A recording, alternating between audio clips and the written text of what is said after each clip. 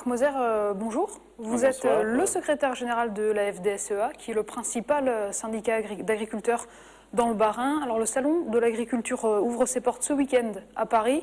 C'est la vitrine hein, de l'agriculture en France.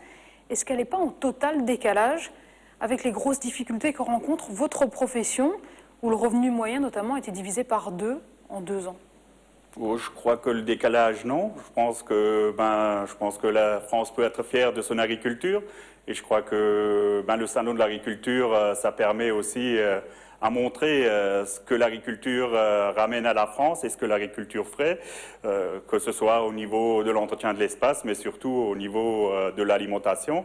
Et je crois que là, la vitrine de l'agriculture, même en période de crise, je crois qu'il est bien que pendant une dizaine de jours, les médias, tout le monde s'intéresse un peu à l'agriculture, qu'on oublie trop souvent, surtout son sens principal, qui est le rôle de produire de la nourriture euh, pour nos concitoyens.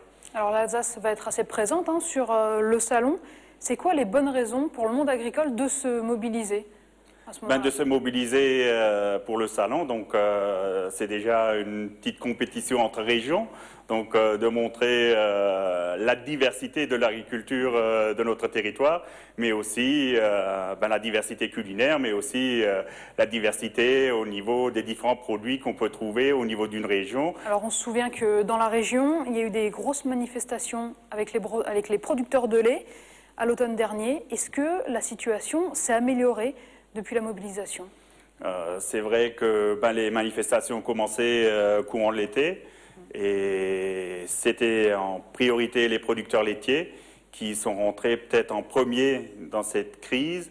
Mais la grande manifestation sur Strasbourg euh, du 1er octobre, c'était ben, toutes les productions qui à cette époque-là étaient concernées et qui le sont malheureusement encore aujourd'hui. C'est vrai que le gouvernement a mis des moyens en place pour donner un peu euh, d'oxygène euh, aux exploitations agricoles, mais ce qui ne suffit de loin pas.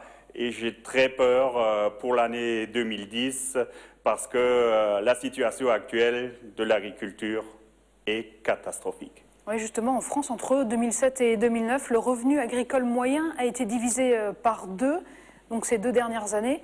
C'est quoi la réalité économique de ce chiffre-là euh, dans la région ben, La réalité économique de ce chiffre, c'est que les revenus ont fondu, surtout premièrement parce que les charges ont explosé, que ce soit au niveau des différents entrains, euh, intrants, mais de l'autre côté aussi, je crois que par rapport euh, à, à la crise en général par rapport au pouvoir d'achat du consommateur et on comprend que le consommateur a certainement autant de, problèmes qu'au niveau du milieu agricole, mais de l'autre côté, je crois que ce qui ne fonctionne pas au niveau de notre pays, c'est que les intermédiaires euh, essaient de garder la même marge et que ben, nous, en tant que producteurs de matières premières, euh, on, est on est les laissés pour compte parce que nous, on nous donne ce qui reste et malheureusement, actuellement, et c'est vrai pour 95% euh, des productions présentes sur notre département, sur notre région, les rentrées d'argent ne couvrent plus les charges d'exploitation.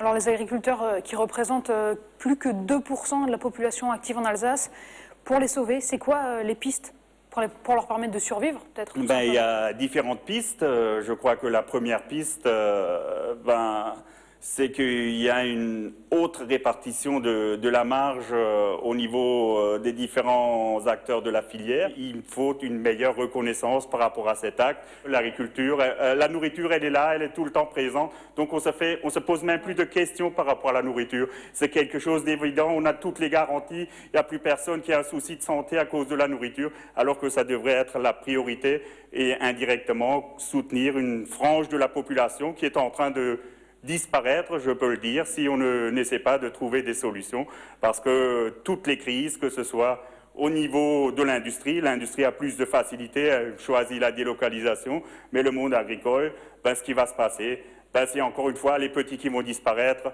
et les grands qui vont s'agrandir.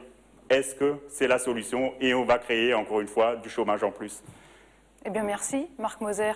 Bon salon de l'agriculture quand même. Je rappelle que vous êtes secrétaire général de la FDSE. Merci de votre invitation.